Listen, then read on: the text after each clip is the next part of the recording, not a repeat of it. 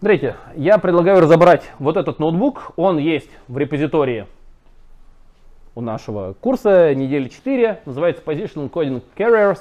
Carriers, несущие частоты. Его составил Владислав Гончаренко, за что ему большое спасибо. Сейчас я вырублю хедер.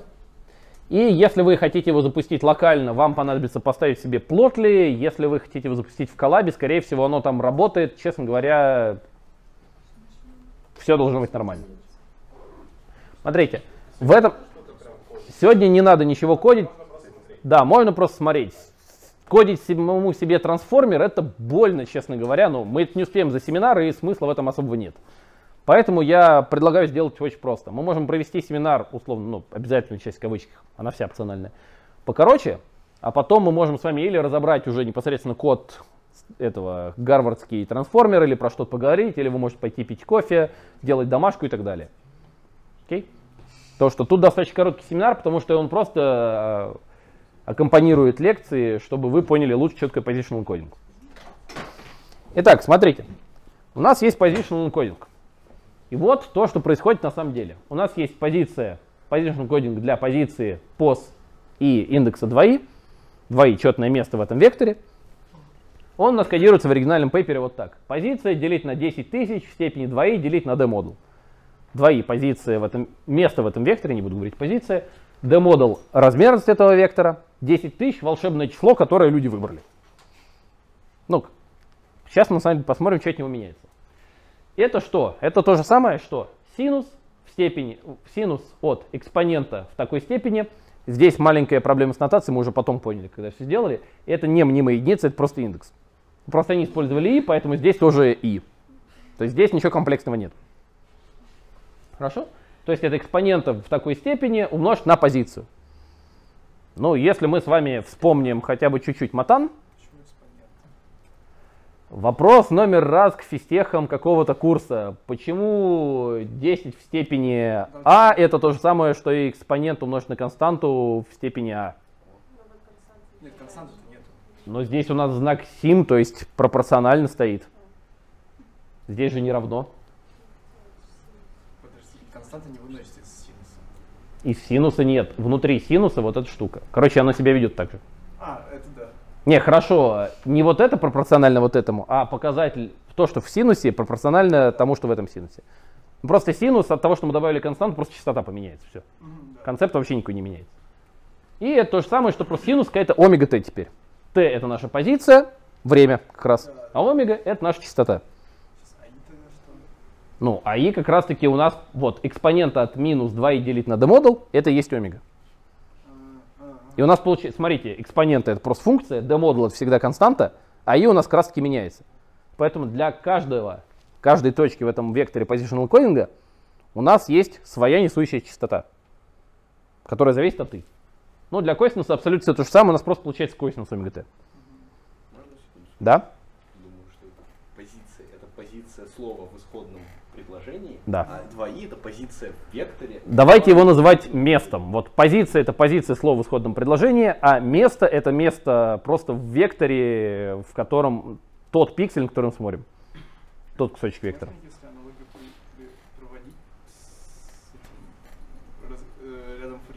Да. нас получается гармоника, которую мы раскладываем, это как раз... Вот, смотрите, каждая гармоника это какая-то буковка и, да. Ну понятное дело, 2i и 2i плюс 1. Изначальные Значения в момент. Мгм. Все, спасибо. Да. Вот. То есть каждый и у нас четко соответствует гармоника в косинусе и в синусе. И мы можем это дело получить. Да, тут, как всегда, есть немножко комментариев, чтобы могли это посмотреть сами потом. И мы можем посмотреть на то, а как же оно все-таки меняется с течением времени. И зависит от знаменателя. Ну, собственно, вот наш самый знаменатель 10 восьмой, 10 четвертый, 10 во второй. Это то, что у нас там в знаменателе стояло. И это то, как меняется частота для каждой компонента. Тут мы рассматриваем максимум 8 в зависимости от знаменателя. Мы видим, чем больше знаменатель, чем быстрее она падает.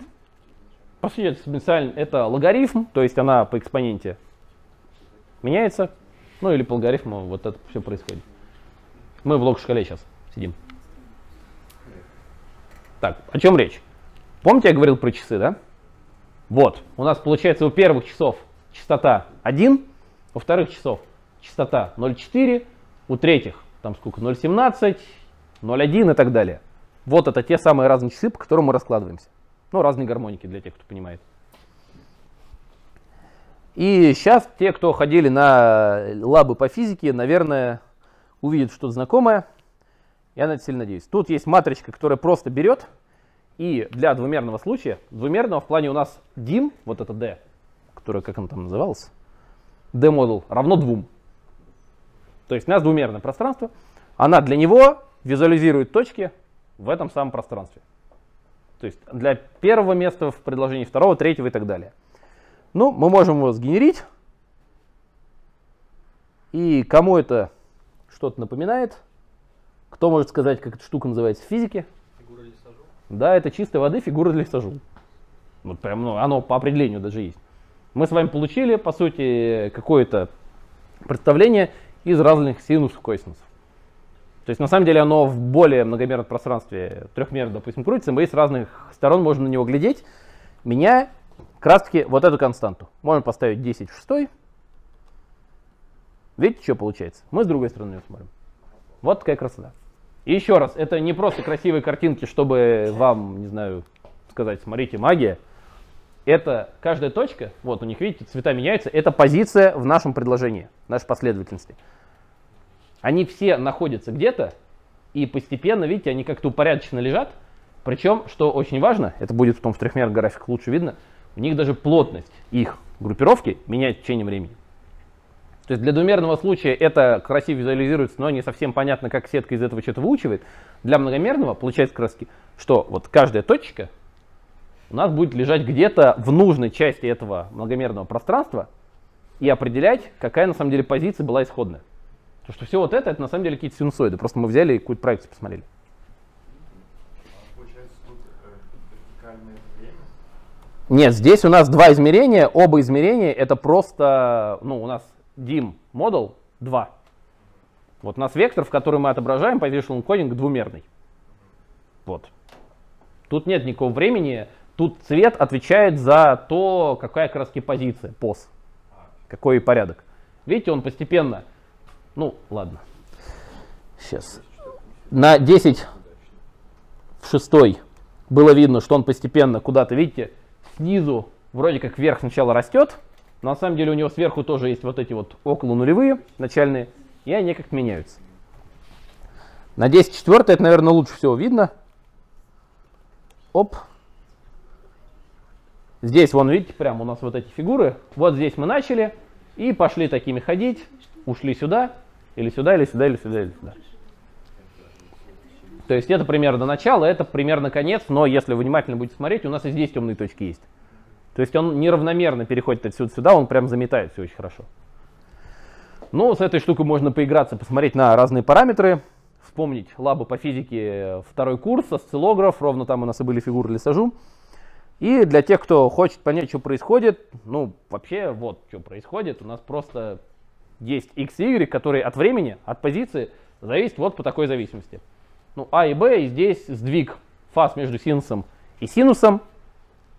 В данном случае у нас синус и косинус, то есть сдвиг фаз пи пополам. Но все же помнят, да, что синус и косинус на пи пополам отстоят. Я надеюсь, все помнят, а то мы тут машинное обучение вроде как учим. Если мы тригонометрию забудем, будет грустно. Значит. Ну и то же самое сразу для 3D кейса, чтобы не быть голословным. Вот как эта штука уже выглядит в трехмерном случае. Например, для какой-то константы. Сейчас скажу, какая там константа. Константа 2 в третий. Давайте поставим 2 в четвертый. Во, классно вообще. Мы видим, что оно вроде как болтается в каком-то пространстве, просто ну, похоже на какое-то случайное распределение, ведь правда? Но при этом, на самом деле, если на него смотреть внимательно, то вы можете увидеть вот эту периодику, и мы все еще наблюдаем что-то похожее на фигуру лисажу, просто теперь мы в трехмерном пространстве смотрим, нам уже сложнее это рассмотреть. Ну, если учесть цвет, уже в четырехмерном. Да? А, цвет это... Цвет это позиция. Ну, позиция бита в... Не-не-не, смотрите. У нас с вами, еще раз, исходная формула была. Вот. Синус омега t. Правильно? Омега частота, t время. Здесь у нас сигнал меняется во времени, это наше предложение меняется во времени. То есть первое слово, второе, третье, четвертое и так далее. Поэтому позиция это t. А омега это частота, и она зависит как раз от того, в какой компоненте вектора мы это кодируем. Да. Соответственно, ну, координаты именно x, y, z это... x, y, z у нас трехмерный вектор теперь. И x, y, z это компоненты этого самого вектора. Мгм. То есть мы вот перевели как раз... вот, То есть, смотрите, вот что происходит. Вот, давайте возьмем любую точку. Вот у нас вот эта точка. x, y, z. То есть для 200 элемента последовательности у нас будет x 0,86, y минус 0,40, а z минус 0,999. То есть тенденция то, что они ну, как-то разделяются, в принципе. Они постоянно да, разделяются, и они причем покрывают какие-то периодические фигуры, постоянно болтаются, что раз и позволяет нашей сетке потом отсюда как-то вытащить информацию о позициях. Вот. Но это на самом деле очень короткий ноутбук, который был рассчитан только на то, чтобы дать вам чуть-чуть понимание, что тут происходит. Мне он нравится своей красотой и тем, что тут появляются фигуры лисажу. Ну, мы, когда на дело смотрели, пока ноутбук составляли, было ощущение, что сейчас что-то из физики здесь прям появится явно, но фигуры лисажу в явном виде было увидеть очень радостно. Причем, что интересно, фигуры лисажу как бы вылазят, вот это очень явное, ровно с той константой, которую они предлагают в статье. Если их там менять 10 в 5, не знаю, 5 тысяч или 15 тысяч, будет не так красиво. Так что, возможно, это все-таки не просто волшебная константа, ее тоже подбирали. Возможно, нет. Я не занимался этим исследованием, я не знаю. Вот, смотрите, еще раз, positional encoding позволяет нам вот в это вот многомерное пространство, в данном случае целое двумерное, очень много, отобразить координату. Как? Ну просто точка в этом пространстве. Причем они подчиняются вполне себе хорошим, красивым периодическим законам. Вот как он работает, почему он складывается. Ну, правда, я буду отсылать вас к оригинальной статье. Я, если у меня будет время, попробую, может, сам ее прочитать внимательно, вдумчиво. Не про трансформер, я имею в виду, а про positional encoding. Но сейчас я ее читал по диагонали, поэтому я не могу точно сказать, почему именно сложение и конкатенация, но, по-моему, это логично. Опять же, в репозитории есть ссылка на данный ноутбук в коллабе, вы можете его запустить, или же там есть ссылка на гарвардскую статью, которая называется Annotated, Transformer, которая является просто-напросто ноутбуком, переложенным на веб-морду, и я предпочитаю открыть его в GitHub, потому что тут поехал Markdown. Вот он. На самом деле замечательно, что ребята вообще сделали этот ноутбук, потому что посмотреть на то, как трансформер написан глазами и причем написан по-человечески для людей со всеми комментами, это прям удовольствие. Фу. Ну, давайте, как раз Роман спрашивал, что за дипкопия. Сейчас мы про это как раз скажем. Смотрите, у нас есть энкодер, декодер, подход. Все равно, куда бы мы ни шли, у нас всегда он будет. Для этого нам нужно сделать для него класс. Класс у него крайне Это как сеточек домашний, да? д- абсолютно вообще да, где угодно. Энкодер, декодер, вот что угодно. У нас есть энкодер, у нас есть декодер, у нас есть какие-то размерности, у нас есть какой-то генератор. Про генератор не бойтесь, это пока не имеет отношения к ганам. Генератор это просто то, что берет последний стейт, вот то, что нам выплюнул декодер, и из него генерит нам предсказание, ну слово. По сути, в данном контексте генератор, они его так назвали, это просто линейный классификатор, который отображает из скрытого состояния декодера в слово словаря. Ну, назвали его генератор. Вот так.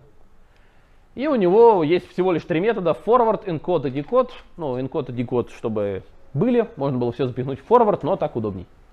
Вот видите, у нас self-decode от self-encode от то, что было. И если обратить внимание, у нас здесь есть SRC маск и TGT маск. Это те самые маски, про которые мы с вами говорили на лекции. Но маски, что он не видит все сразу. Энкодер может видеть на самом деле все и сразу, а декодер может видеть не все и сразу.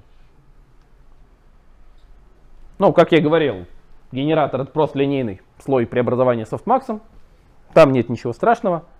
Я, дум- я даже не думаю, вы все это делали. А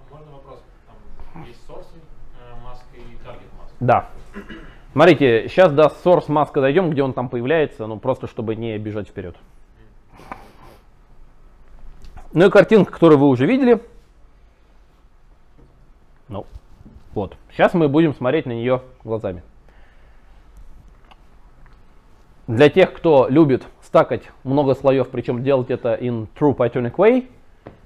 Вот, copy, deep copy. И у нас тут прям есть функция clones, которая нам ровно это и делает. В PyTorch у нас есть в модуле nn класс модуль list, который так называется, который берет нам список слоев и делает из них последовательность этих самых слоев.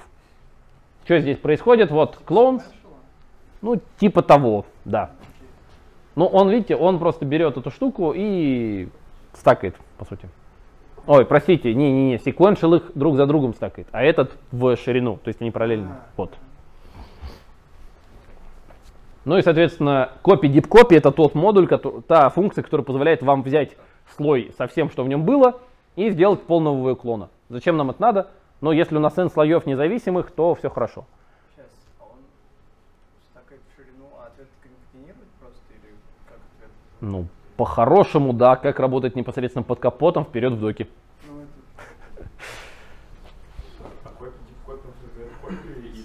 ссылку? Deep copy создает именно полную копию, то есть это отдельный объект в отдельном куске памяти. И он по всем ссылкам проходится, для них тоже копии создает. Да. То есть он, он все, до чего может дойти, создает. На самом деле не по всем, иногда можно нарваться на то, что он что-то там не сделает. Я читал какой-то corner кейс, это было где-то в разборе типа тонкости питона.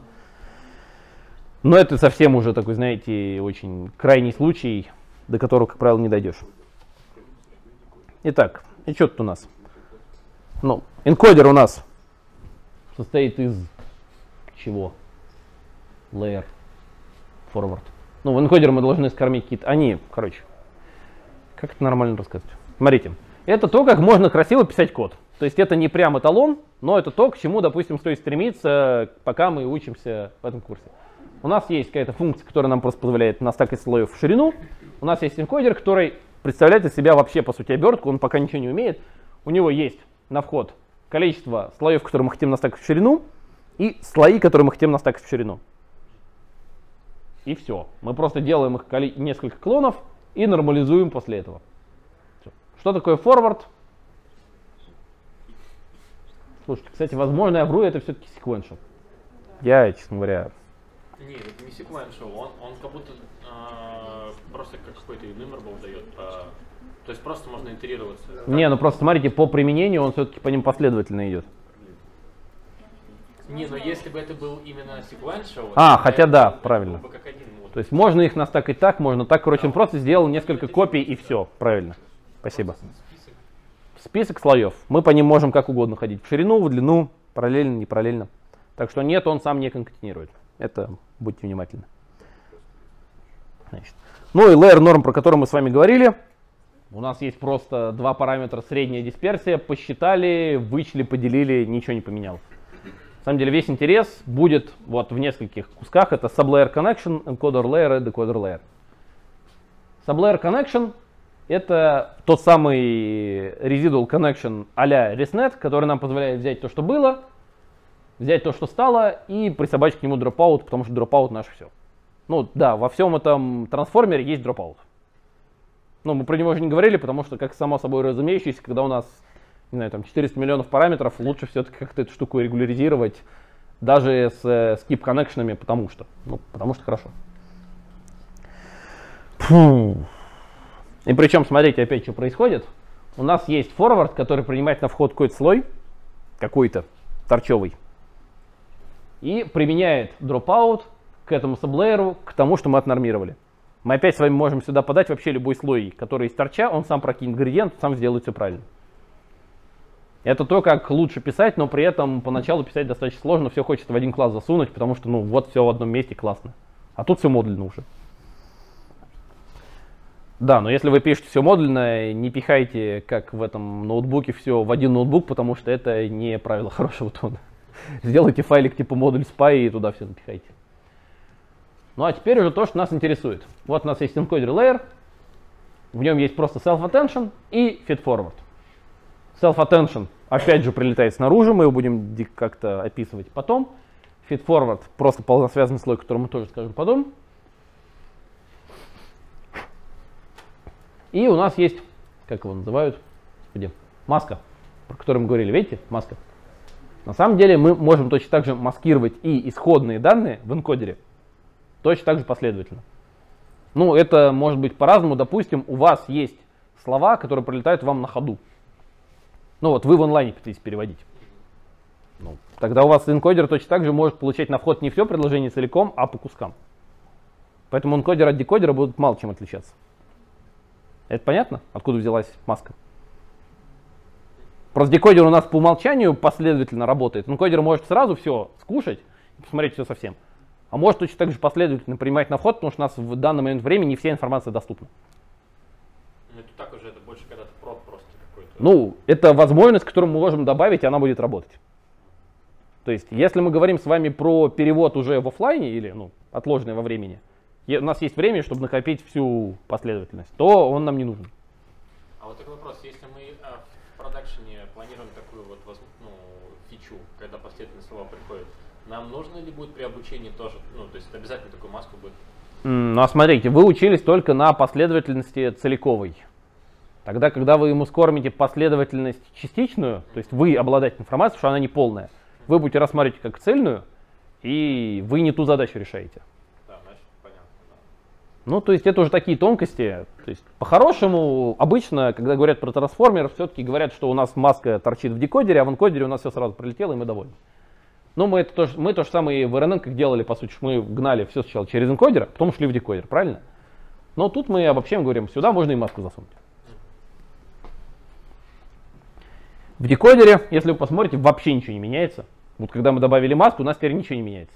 Только у нас теперь появилась, смотрите, в энкодере у нас на вход приходил только X и маска. В декодере абсолютно все то же самое, только у нас пришел X, маска для X, то, что мы, возможно, не все видели. А еще memory, это как раз то, что мы помним, это то, что нам выплюнул энкодер. X это уже не тот, который в энкодер пришел, а тот, который мы уже декодером нагенерили. И маска, соответственно, для их обоих. Все. То есть разницы, кроме этого, никакой нет. Ну и layer у него абсолютно такой же. У нас есть mass, фу, memory, на который теперь надо посмотреть. И теперь нам нужно сначала прогнать masked attention, потом self attention, потом encoder attention, наоборот. Masked, потом encoder, потом то, что у нас дальше будет всякие feed forward. Ну вот оно, собственно, и происходит. Self attention с маской, потом source attention, то есть на encoder глядим, а потом feed forward, бла-бла. Ну и да, клонирование как вширь, так и в длину работает. Спасибо, что поправили. А то я немножко договорился. Так. Ну и вот та самая картинка, которую вы видели уже в лекции. Вот она чистой воды. Это та самая маска, которую мы генерим. Просто маска позиций. Мы берем, делаем верхнюю, нижнюю треугольную матрицу и ее потом просто-напросто будем умножать поэлементно с тем, что нам прилетело на вход. Пам-пам-пам. Фу. Attention. Ну, attention, я думаю, все умеют читать. Тут разве что хочется сказать, это написано в тексте, что о чем мы используем все-таки dot product. Мы же говорили, что dot product вообще тупенький. Там все-таки лучше какой-то через э, матрицу перехода считать или считать вообще concat attention, который еще более умный. Почему dot product? Потому что у нас уже с вами есть две матрицы, которые позволяют нам что-то учить полезное. Которая веса для Q и веса для KISS. После того, как мы их выучили, мы уже переходим в какое-то полезное пространство, мы их градиентом ведь пинаем куда-то в правильное место. Поэтому dot product может быть полезным. В чем плюс dot продукта? Если у нас dot product attention, мы можем это расписать вообще очень красиво через матричное перемножение, прям здоровых матриц. И это наша куда распараллелит в лед. Если мы сюда добавим матрицу перехода, то все будет медленнее, потому что у нас уже нет такой красивой математики, у нас еще один тензор появляется, его надо в середину вкрутить и будет считаться дольше. Но при этом работает. Но это ровно то, что мы с вами говорили в этой серии, точнее в серии слайдов про self-attention. Вот здесь у нас краски QV, QQ, господи, VQ, VK и VV отшкалировали, сконкатинировали, объединили и так далее. Мультихед, еще раз, это опять же просто берем этот самый self-attention слой, размножаем n раз, потом все это вместе конкатинируем, берем матрицу весов, которую мы опять же выучиваем, умножаем на нее и получаем в итоге. Здесь происходит абсолютно то же самое. Взяли все, заинициализировали. Для всех кусков посчитали, посчитали attention, умножили на вот эту матрицу, оттранспонировали и получили то, что вышло на конце. Все. То есть писать на торче, я думаю, все уже более-менее умеют. К концу семестра будут уже делать это абсолютно свободно. На самом деле это важный навык. Вам потом пригодится. Как минимум в дипломе, кстати. Пам-пам-пам-пам-пам-пам-пам. Position feed forward. Но это просто последовательная сетка, вот, которая у нас шла потом. У нас был self-attention, потом этот normalize, потом, помните, была feed forward. Ну, просто линер, линер, dropout. Между первым линером и вторым стоим стрелу. Просто линейное преобразование зачем? Ну, затем, что мы хотим как-то, как было в исходных сетках, мы хотим сделать линейное преобразование, потом нелинейно как себе перевернуть, сделать еще одно линейное преобразование, чтобы у нас получались более полезные репрезентации. Тут тоже не на, что, не на что обращать внимание. Ну и здесь у нас есть вот этот волшебный корень из d, на который лучше поделиться, потому что иначе мы с вами будем раздувать себе дисперсию, чего мы вообще говоря делать не хотим. Ну а positional encoding, вот, отсюда эти формулы и взяты, ну и в оригинальной статье они такие же. Вот как гармоники выглядят в предложении авторов. Собственно, это то, что на первом, на четвертом месте, на пятом, шестом и седьмом. На самом деле, если вы посмотрите сюда внимательно, то вы увидите всего две различных фигурины, просто они повторены каждые по два раза и сдвинуты друг относительно друга. Почему? Ну, потому что синус и косинус сдвинуты на пип полам, здесь это и происходит. Вот пип полам, вот пип полам. Все. Мы с вами там смотрели на эту штуку скорее как на точку вот в этом пространстве уже на фигурку сижу. На самом деле это очень классно. И вот для тех, кто спрашивал, почему бы это дело не выучить, вот прям есть ссылочка. Ребята из Гарварда прям говорят, что мы тоже экспериментировали с выучиваемыми positional репрезентациями, эмбеддингами, и обнаружили, что они дают очень похожие результаты, но при этом вот эта штуковина умеет масштабироваться на любую длину последовательности. Ну, пока наши с вами часы не истекут. Но такого не будет, потому что оно там экспоненциально падает. У нас частот достаточно, чтобы все закодировать. Теперь, это опять же для тех, кто пишет хорошо, это вообще очевидно. Для тех, кто пишет недавно, смотрите, мы с вами только что накодировали кучу каких-то классов. Потом просто можем сказать make model. У нас есть два словаря, какие-то размерности. И в одну маленькую ячейку с кодом сразу собрать вот всего этого монстра трансформера с кучей энкодеров, кучей декодеров, друг на друга настаканных и так далее. Ну, смотрите, у нас просто энкодер, декодер, энкодер такой-то, и у него сразу есть число n. Мы говорим, сколько раз ему там появляться. Декодер то же самое. Ну и инициализация параметров моделей этим Xavier Initialization Uniform. Да, кстати, для тех, кто ну, любит, шарит и так далее, я, возможно, это давно говорил, у нас обычно в Advanced во втором семестре есть опция докладов от вас в конце семинара лекции, поэтому если кто-то про что-то хочет рассказать дополнительно, замечательно. Почему я про это говорю? Допустим, если кто-то расскажет про инициализацию Ксавьера, будет замечательно. Не, я тоже могу рассказать, но у вас есть возможность сделать это самостоятельно, получить за это знаю, плюсик в харму, плюсик в баллы, плюс я просто буду рад, что кто-то тоже активно выступает на аудитории. На самом деле это классно, полезно. Ну и мы так себе еще преподаватель находим. Короче, если хотите, пожалуйста, вот я вам даже тему подкину. Просто до сих пор я про нее не раз, я про нее всегда говорил декларативно. И вот, условно, до следующего раза оставлю ее все еще в свободной форме. Если никто не расскажет, я уж потом сам расскажу. Я уж понял. А там еще углеродная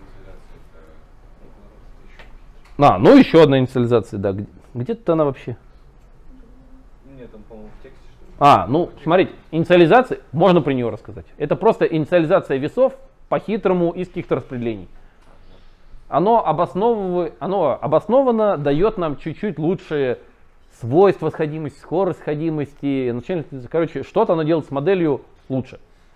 Если вы любитель байсовских методов, можете сказать, ну вот у меня есть какой-то prior на мое распределение весов, вот это мое prior distribution, вот я на него смотрю. Но если вы пока с байсовскими методами не сталкивались, ну, когда столкнетесь, поймете, о чем речь. Prior это просто априорное распределение, которое вы предполагаете изначально. Вот. Ну а дальше, в принципе, вообще ничего не меняется. На самом деле, я уже не буду это разбирать детально. Тут хочется сказать несколько вещей. Тут ребята не только говорят про то, как правильно сделать себе ми- изме- п- не измену, господи, обновление learning rate, они делят процесс обучения на две части. Сначала это называется warm-up state, когда у нас learning rate растет. То есть они сначала все больше и больше раскачивают модель, пытаясь дойти до того момента, когда она куда-то сойдется, а потом убывает уже по логарифму. Ну, вообще говоря, это достаточно широко применяемая практика. Не просто его уменьшать, но еще и растить вначале, потому что вам сначала куда-то надо сойтись. Нужно растить вначале. Можно сохранять, но при этом его... Смотрите, если у нас с вами не было удачной начальной инициализации, а в среднем так и будет, нам с вами надо достаточно долго идти до куда-то хорошего. Если у нас с вами не меняется learning rate, мы можем долго идти, в смысле, если он сохраняется. Если он растет, мы можем прийти быстрее и начать вокруг этого места осциллировать. То есть мы с вами будем вот до этого момента, допустим, здесь мы уже пришли к ложбине, где нам надо теперь падать learning rate, вот здесь. Мы вокруг него осциллируем, потому что мы явно не улетим куда-то далеко. Если мы градиенты клипаем, ничего плохого не будет. Не должно быть. Может быть, но не должно быть. И потом мы просто уменьшаем learning rate, постепенно он становится достаточно маленьким, чтобы попасть в эту ложбину, еще раз, еще раз и попасть куда надо.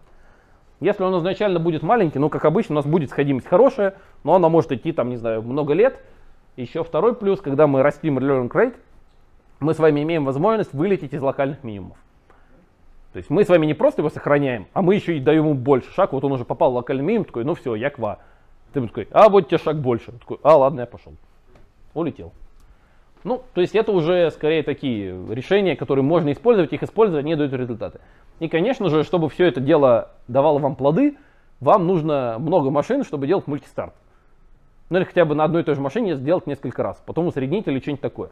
Потому что один раз вы можете, это случайный процесс, вы можете куда угодно на самом деле прийти. Просто в среднем вы сойдетесь куда надо. И второе, про что хочется сказать, точнее попросить вас прочитать внимательно, тут есть такие техники, как label smoothing. Мы берем и сглаживаем лейблы, потому что нас не совсем устраивает предсказывать только конкретное слово. Мы можем брать... Фу, где тут оно? Итераторы. Во, мы можем брать всякие такие модели и раскидывать их на мульти-ГПУ.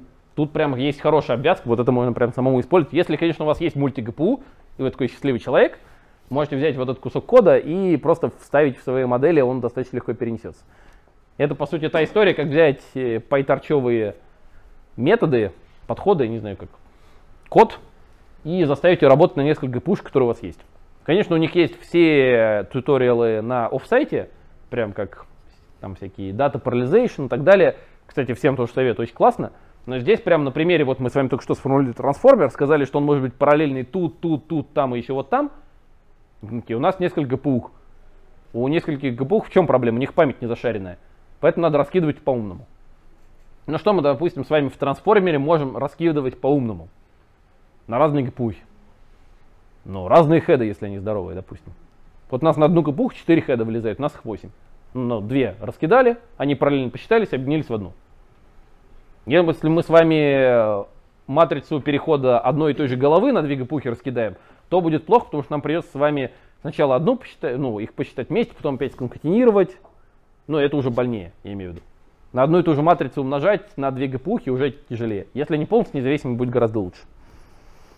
Ну и тут уже есть всякие замечательные колы. Короче, просто читайте, вкуривайте, это классно. И тут даже история, как все это дело можно взять, заставить считаться самому. Тут они предлагают использовать Amazon. Ну, у них, наверное, есть договор с Amazon. У нас нет договора с Amazon. И, конечно же, все то, что мы с вами перед этим говорили. BPE, Beam Search, усреднение с нескольких моделей, ансамблирование. Короче, все то, что вы узнали до текущего момента, причем не на прошлой лекции, а вообще, оно никуда не девается. Вы всегда можете строить ансамбли, оно всегда будет вам давать хоть какой-то прирост. Ну, хуже, как правило, не сделать, если у вас все модели в ансамбле обычно примерно одинаково. Вы можете использовать BPE, чтобы получить нормальный словарь. Это вообще на этапе словаря ничего не меняется. Вы можете усреднять какие-то предсказания, а, это уже сказал. Вы можете использовать Beam Search, чтобы сгенерировать лучшую последовательность. В декодере мы пока генерировали как? Мы брали лучшее из того, что было, по сути, жадно. Но жадно не всегда хорошо, потому что на следующем шаге может оказаться по-другому. Все, что было раньше, может быть использовано. Ну и тут красивая просто картинка, что вот у них есть трансформер большой, трансформер маленький, и что он бьет почти всех, кого не лень, почти на всех датасетах, на которых не лень. Да, и учится быстрее. если у вас есть много Да. Но, кстати, у меня этого нет в слайдах, я слайд тут удалил. У трансформера с одинаковым количеством параметров, как у, по-моему, сверточной сетки, сверточной рекуррентной сетки для машинного перевода, вот у них одинаковое число параметров, трансформер учится в 4 раза быстрее. Не, имею в виду, на том же железе с одинаковым количеством параметров он работает быстрее, потому что мы как раз можем очень все эффективно раскидать параллельно. А там у нас вот этот sequential штука начинает тормозить и так далее. Что?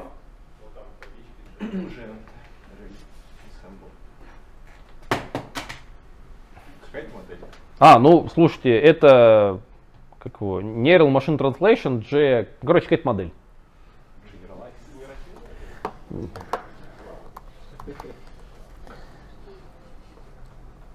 Гуг- это гугловая модель.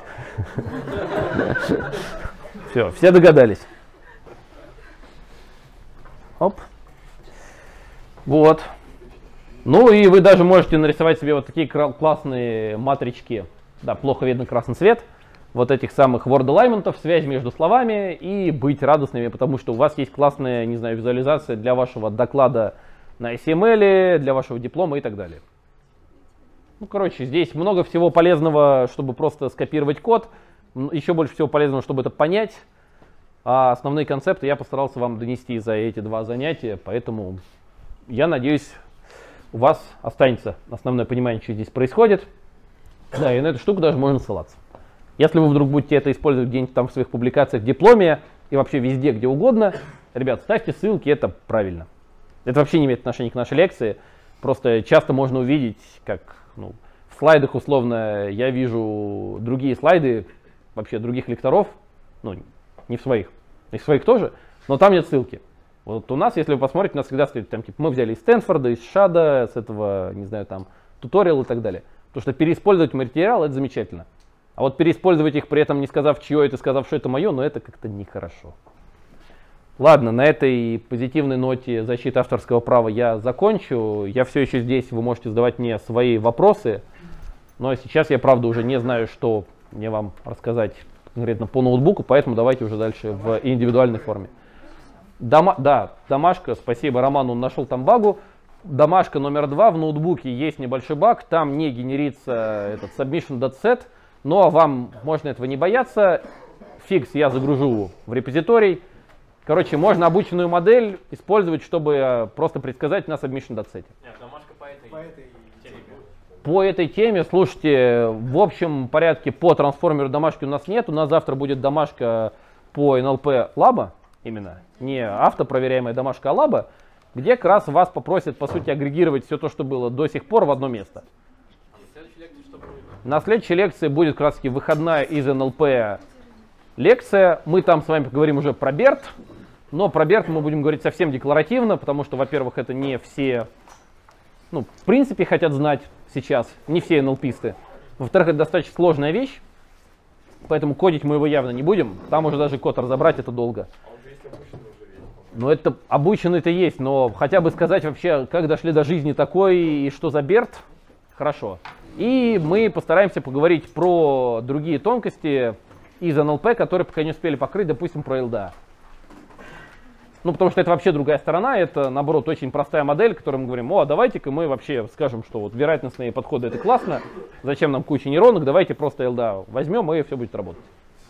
Ну вот попробуем про это поговорить, если у нас правильно выйдет все с таймингом. Понятно. Это планируется последняя лекция по НЛП. По НЛП, да, после этого у нас начинается часть по РЛ, ну и у вас идет, вот, лабу мы выдадим на этих выходных, скорее всего, или в понедельник там.